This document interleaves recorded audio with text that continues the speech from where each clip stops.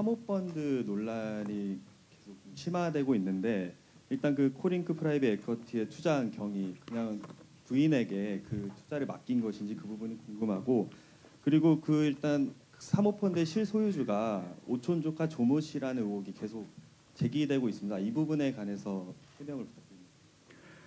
어, 아시다시피 저희 제 처가 그 어, 사모펀드에 투자를 한 것은 사실입니다. 근데 그 배경을 좀 설명을 드리겠습니다. 어, 저- 제가 민정수석이 되고 난 뒤에 개별 주식은 보유하는 것이 좋지 않다라는 평, 그 의견을 듣고 그러면 펀드에 투자하면 되겠느냐라고 공식적으로 질문을 했습니다. 그래서 펀드 투자, 사모펀드를 포함한 것입니다. 허용 가능하다는 답변을 받았습니다. 사실 저는 어, 제가 잘 그 경제나 경영에 잘 모르기 때문인데 사모펀드가 뭔지를 이번에 공부를 하게 되었습니다. 사모펀드가 도대체 어떻게 돌아가는지에 대해서 애초에 사실 알지를 못한 정도입니다. 근데 이번에 어쩔 수 없이 하나하나 보게 되었는데요. 분명히 말씀드리는 것은 저는 물론이고 제 처든 간에 이 사모펀드의 구성이건 운영이건 뭐 역- 등등의 과정에서 알 수가 없었습니다. 따라서 관여도 하지 않았습니다. 이 점은 그 삼- 문제 사모펀드 회사가 공식적 입장으로 입장을 발표한 바 있습니다. 그 보도자를 한번 봐주시면 좋겠고요.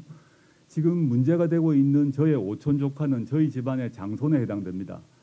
제사 시절에 제사 때 1년에 한 번 또는 뭐 많아야 한 두 번 볼까 이 정도의 관계인데 저희 집안에서 주식 관련해서 전문가라고 하면 그 친구가 한 명입니다. 그래서 원래 개별 주식에 있던 주식을 제 처가 팔아서 이걸 어떻게 하면 좋겠냐 물었을 때 집안에 있는 사람에게 물어, 물을 수밖에 없겠죠. 물론 또 다른 펀드 매니저요 원래 거래하던 펀드 펀드 매니저에게도 물었습니다. 그래서 그 펀드에 넣었고 그렇지만 그 펀드가 펀드가 어디에 투자를 하는지 어떻게 운영되는지는 알 수가 없습니다. 그 점은 제가 그 이번 청문회 과정에서 확인을 한번 했는데요. 한번 보시면 이건 그 회사에서 어, 많은 언론에서 제공 제기했던 것입니다. 그, 얼, 그 펀드 회사에서 운용 현안을 보고하지 않았느냐?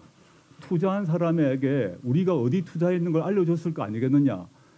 그 당신들이 그걸 보지 않았겠느냐라고 한 것 같습니다. 실제 그래서 저도 이번에 이번 2, 3주 사이에 그 보고서를 찾아보았습니다. 이렇게 되어 있습니다. 본 펀드의 방침상 투자 대상에 대해서 알려드릴 수 없다라고 되어 있고 상세한 내용에도 어디에 투자했는지 자체가 적혀 있지 않습니다.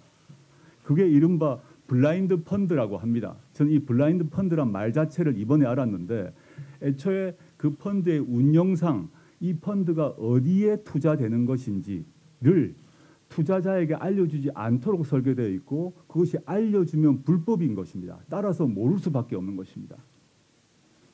그 후보자께서는 그렇게 해명하시지만 이미 그 후보자 부인과 그리고 아들 그리고 딸 그리고 처남까지도 그 후보자 부인이 돈을 빌려줘서 그 펀드에 투자를 했고 그리고 펀드의 주요 그 주주라는 점이 드러났습니다. 그런 거 보면은 그 후보자 일가가 그 펀드 운영에 관여하면서 그 블라인드 원칙을 위배했는 거 아니냐는 그런 의혹이 계속 나오고 있는데요. 예, 그 점은 제가 언론 보도를 통해서 검찰에서 그 펀드 회사를 압수수색을 한 것을 확인했습니다. 거기서 각종 서류가 나왔을 것이라고 보고 분석이 될 것입니다.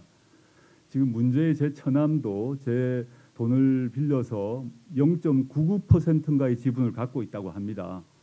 근데 그 자체도 저는 이번 기회에 알게 되었는데 실제 어떤 일이 있었는지는 저는 검찰 수사를 통해서 밝혀질 것이라고 봅니다.